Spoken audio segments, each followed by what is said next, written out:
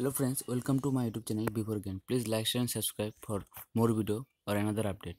So today our question is write two activities for increasing english vocabulary of student of class 4 or 5 answer there are various way to increase the vocabulary of student.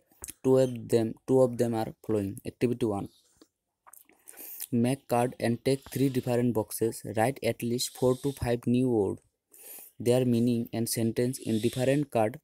In the first box, keep the card which consists the word that you know but the word are too difficult that you may forget it. And in the third box, keep the card of word which is totally new to you.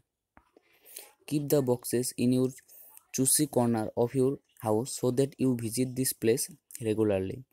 Try to learn the new word and revise the word you know also go through the word of box 1 so that so that you do not forget them. Change the place of card accordingly. Activity 2 the best way to learn new word is with your friend.